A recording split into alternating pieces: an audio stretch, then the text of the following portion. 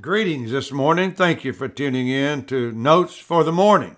Now, we want to carry on what we did in the last devotion, and that was, that was we had eight things that we wanted to examine just briefly, seed thoughts, to help the believer carry out his resolve that he made in the month of January to have his spiritual health checked and improve his spiritual health. The question is, how do I improve my spiritual health? And so we've been trying in the month of February to give you things that will aid you in improving your spiritual health. Well, we talked about the war three devotions ago, and now we are involved in the responsibility of the good soldier. Paul said in 2 Timothy chapter 2 and verse 3, Thou therefore endure hardness as a good soldier of Jesus Christ. No man that warreth entangleth himself with the affairs of this life, that he may please him who had chosen him to be a soldier. And so there is a responsibility. Paul gives it in the general sense. We are not to be entangled in the affairs of this life. And so that indicates some things. We are to be a receiver of the Word of God. We're to be a doer of the Word of God. We are to be a God lover.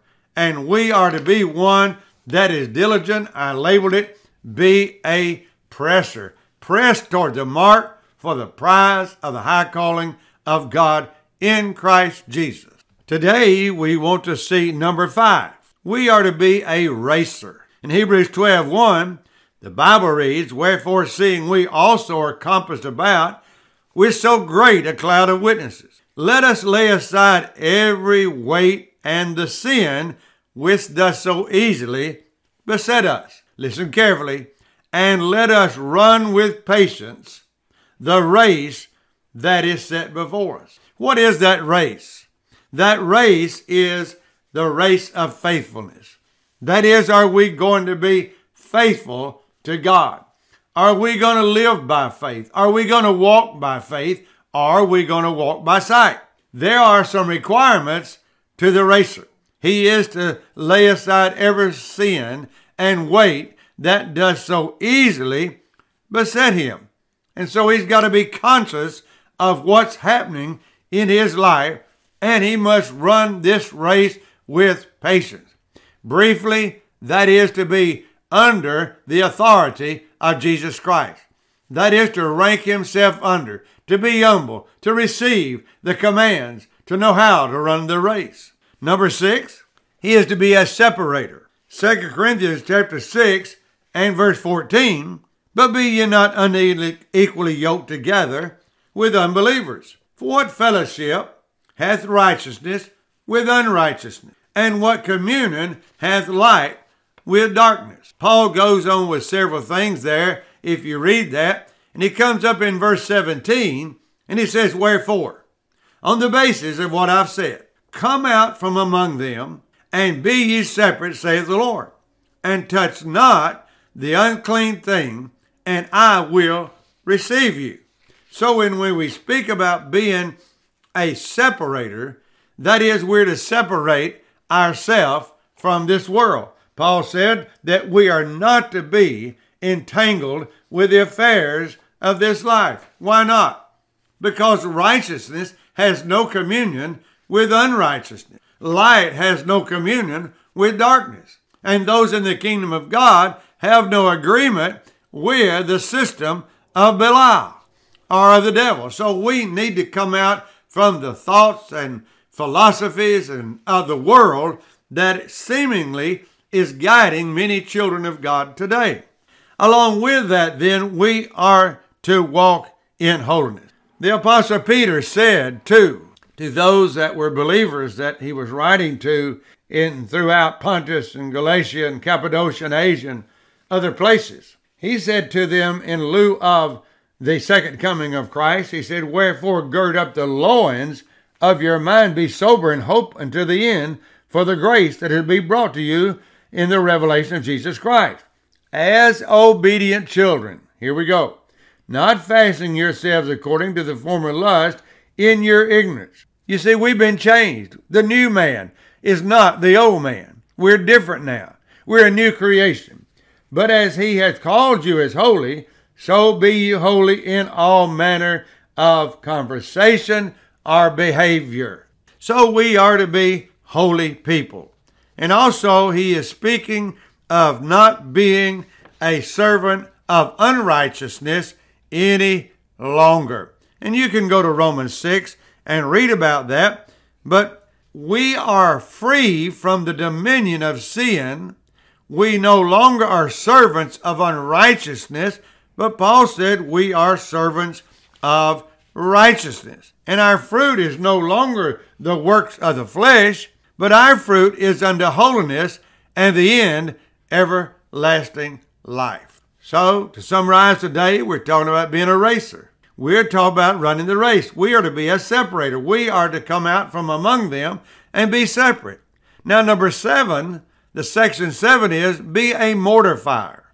In Colossians chapter 3 and verse 5, Paul wrote these words Mortify therefore your members which are upon the earth. We're to crucify the members, the flesh. And he speaks of them fornication, uncleanness, inordinate affection, evil concupiscence, covetousness, which is idolatry.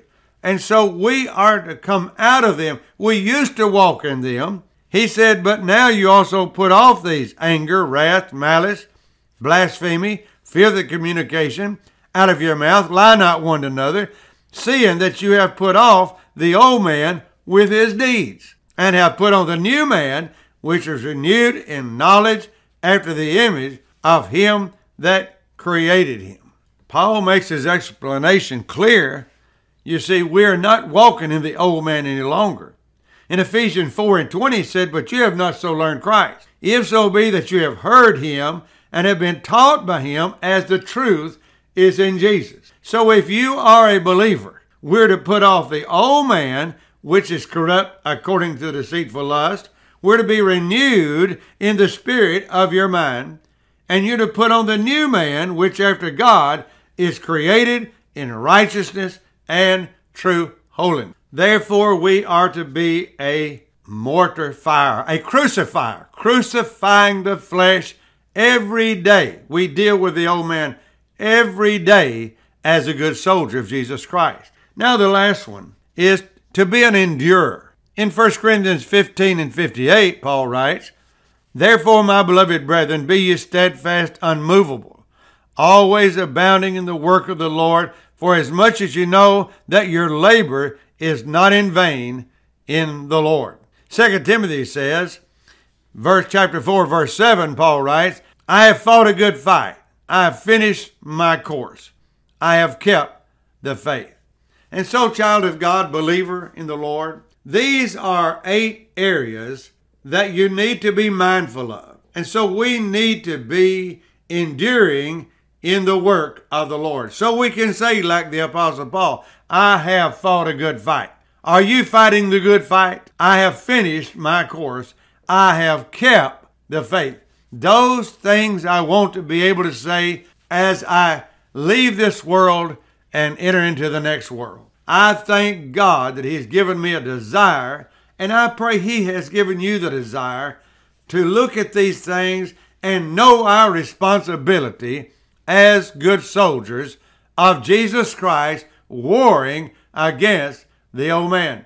We need to wake up. We are in a war and we know the winner of this war. The Lord Jesus has already entered within the veil. We know that our head has all power and all authority and all knowledge, for he is wisdom. We need to visit the throne of grace. We need to talk to God every day and get our orders and what we are to do. Father, I thank you for this time together. Bless your people. Encourage them today. Let them understand, God, all of us, that we are responsible soldiers of Jesus Christ.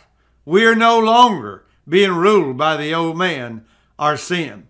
We are not dominated by the old man anymore. Yes, he is constantly trying to take back over the throne, but God, we have the victory because we are servants of the Lord Jesus Christ. We have all power and all knowledge in Christ. We ask these things in Jesus' name. Amen.